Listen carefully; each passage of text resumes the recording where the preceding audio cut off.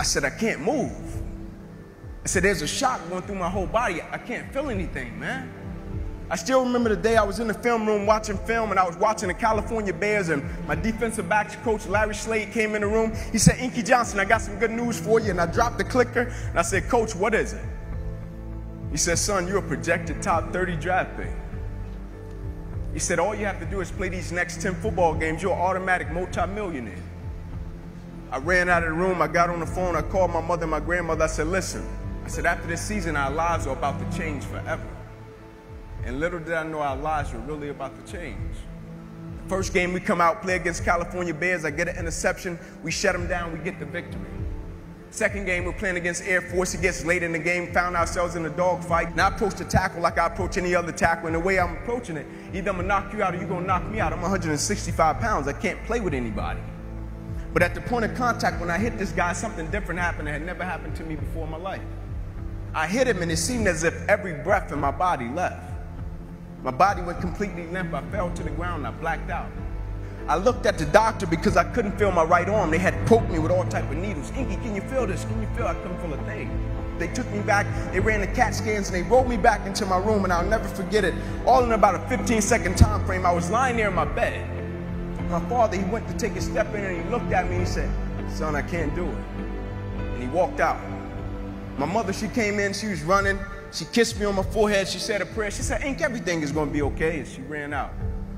And as soon as my mother stepped outside of the room, the doctor rushed in from the opposite side and he said, Hey, get in here. We got to rush this guy back to emergency surgery. He's about to die. I said, What? I said, My mom just told me everything is going to be okay. He said, Son, what happened? You have busted up subclavian artery in your chest. You're bleeding internally. Have to rush you back and take the main vein out of your left leg and plug it into your chest in order to save your life. And when I woke up from recovery, the same doctor was standing over me. He said, Inky, I have some good news and some bad news for you. I said, You got some bad news for me after telling me I was about to die? I'm still alive. How bad can it get? I'm still here. He said, The good news is, son, we saved your life. I said, Thank you, sir. He said, The bad news is you have nerve damage in your right shoulder. You probably can never play the game of football again in your life. I said, Doc, no disrespect, man, but I'm, I'm eight games away. I've been working for this ever since I was seven years old, Doc. There's no way. God, not now, God. Like, let me make it to the NFL so I can help my family first. Like, I, we miss Mills. I said, there's no way. I never cheated. I never cheated myself. I gave everything I had to it, and I respected it. I never cheated. There's no way that my career can be over. I said, send me up to the Mayo Clinic. And after several visits, I'll never forget, this is when reality set in. It was me, my mother, my father in the room, and the doctors came in. They said, Inky Johnson, here's the deal. They said, son, we hate to tell you, but your arm, it would never be the same again. Your hand, it would never be the same again. Son, you can never play the game of football again. They said, son, here are your surgery options. We could take a muscle out of the back of your left leg, plug it into your right arm, but there's a possibility that you'll be left with a weak left leg and a weak right arm the rest of your life. Or we could take a nerve out of your left arm, reroute it up to your chest, down into your right arm, but there's a possibility that you'll be left with two weak arms the rest of your life. Or we could take a nerve out of your left rib, reroute it up to your chest, down into your right arm, but there's a possibility that you'll be left with a breathing problem and a weak right arm the rest of your life. By the way, tell us what you want to do in the morning. And the next morning, I walked into the doctor's office. They said, Son, what option did you choose? I said, No disrespect to you, doc. I'm not choosing an option. My situation is out of your hands. I said, No disrespect to you, doc. Cut me where you got to cut me. I said, I know I will come out of this situation okay. As I stand right here on this stage before you today, they cut me six times down my left thigh.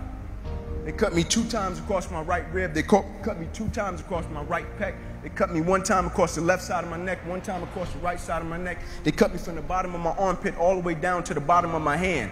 And after they got through cutting on me, they said, son, you're going to be in this hospital for the next 40 days. I walked out of the hospital on the third day. They said, you broke a record. How did you do it? And I said, first and foremost, the thing I want y'all to understand, I will never let a circumstance or a situation define my life.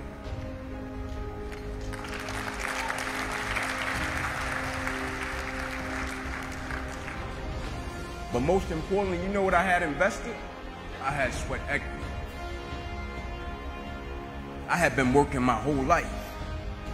And what I didn't understand by being determined to chase something, by being committed to it, and what commitment is, commitment is staying true to what you said you were going to do long after the mood that you have set it in has left. You see, people think commitment is saying, yes, I'll do it on the days when it feel good. But I had been committed to everything that I ever started in my life, and I never stopped and I never quit it. And so, by being committed to everything that I started, I finished it. It built a certain type of spirit, it built a certain type of mentality, it built a certain type of individual. And so now I couldn't quit even if I wanted to. I couldn't lay in the bed even if I wanted to. I couldn't stop even if I wanted to. I had too much sweat equity in my life and everything that I was doing.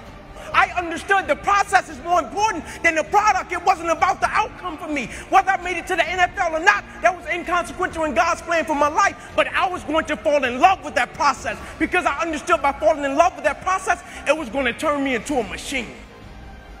A lot of people need a little extra money to get motivated. A lot of people need, you know, whatever the case may be, a little bonus to get motivated. I don't need anything but breath in my body and life.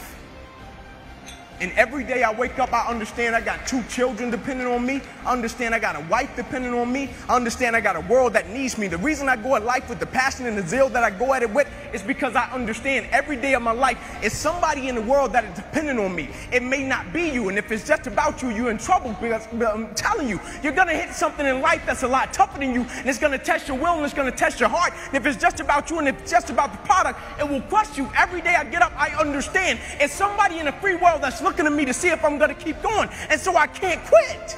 And so I went back to school the next week after they had just saved my life. I was back in class. I had to learn how to write all over again. Had to learn how to walk all over again. Had to learn how to tie my shoe all over again. Had to learn how to bathe all over again.